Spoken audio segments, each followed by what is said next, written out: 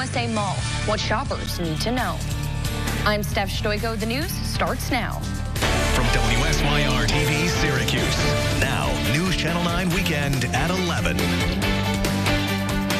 Good evening. I'm Steph Stoiko. Thanks for joining us tonight. Let's get right to your forecast first. Storm team meteorologist John DePasquale joining me now. And John, nice weather today to celebrate Dad. Will that sunshine continue for tomorrow? Uh, it's going to, yes. Overall, I think we're going to see some nice sunshine. At times, it's a little cloudy today, Steph, but definitely was a nice day for Dad. Happy Father's Day to all the dads out there on this Father's Day late Sunday night. Radar showcasing nothing out there right now. Our temperatures at this point hanging out